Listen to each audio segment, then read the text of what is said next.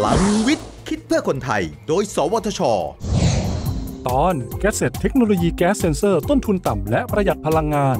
การตรวจจับไอระเหยเคมี หรือแก๊สที่มองด้วยตาเปล่าไม่เห็นนั้น เราต้องใช้เซ็นเซอร์ตรวจจับครับ โดยที่ผ่านมาก็ต้องนำเข้าจากต่างประเทศ แต่ตอนนี้นักวิจัยไทย พัฒนาแก๊สเซนเซอร์ที่ดีไม่แพ้กันได้แล้วนะครับ ที่สำคัญคือไม่แพง และนำไปประยุกต์ใช้งานได้หลากหลายเลยครับ นักวิจัย สวทช พัฒนา GASSET เป็นเทคโนโลยี สร้างแก๊สเซนเซอร์ ชนิดฟิล์มบางสารกึ่งตัวนำโลหะออกไซด์ด้วยกระบวนการผลิตที่ใช้พลังงานและต้นทุนต่ำ แต่ยังคงคุณสมบัติในการรับรู้ที่เทียบเท่า หรือสูงกว่าสินค้าประเภทเดียวกันในท้องตลาด GASSET มีขนาดเล็กใช้พลังงานเพียง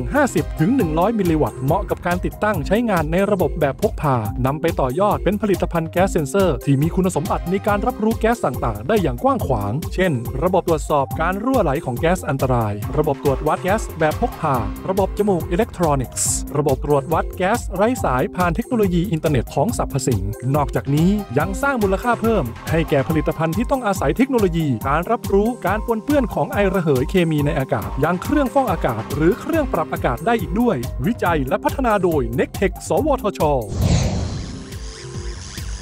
พัฒนาคนด้วยวิทยาศาสตร์ พัฒนาชาติด้วยเทคโนโลยี สอบถามรายละเอียดเพิ่มเติมได้ที่ 02 564 8000